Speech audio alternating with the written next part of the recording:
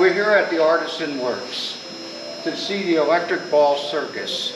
This kinetic sculpture was made by artist George Rhoads in 1974 and it was on display in the Long Ridge Mall from 1974 to 1992. When they merged the mall, the Long Ridge with the Greece Towne Mall, they removed this machine and it was thrown away. Rescued by from a dumpster by one of the construction guys. It was stored outside for about 30 years and eventually found its way here to the Artisan Works. About six months ago, I saw it and volunteered to rebuild it, and this is what we've ended up with. So after 30 years of being stored outside, it was pretty rough, and a lot of the original components were missing. So when I say rebuild versus restore, it's because there were no plans available for, from the original builder and no real good photographs. So we used as much as we could of the original and then we made the components to tie it all back together. So we've got this set up so it runs on a timer and so we can just give it five minutes and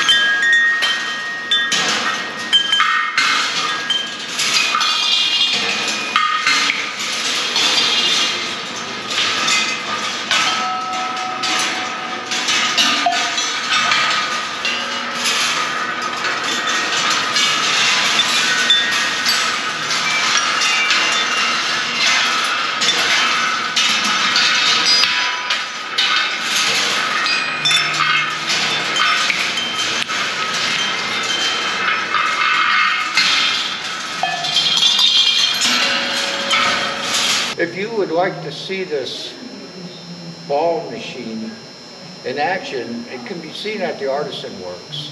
It's located at Blossom Road in Rochester, New York. Open Friday, Saturday, and Sunday.